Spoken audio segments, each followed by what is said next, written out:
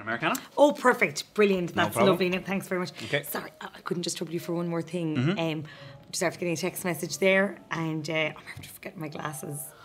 Okay. I'm Totally blind without my glasses as well. That's no problem. So I'm so sorry. No, it's above and beyond the call of duty. okay. but Would you just mind reading Just it that out? one there? Yeah, that one. Okay, I can't see it. It's um, all blurry. Okay. It says hi Dawn. It's me anyway. Uh, it said I've had enough. I never want to see you again. If you ever do come back to this house, I'm going to go out into the garden shed and get that rusty axe and I'm going to chop your head off and bury it with that stupid dog of yours.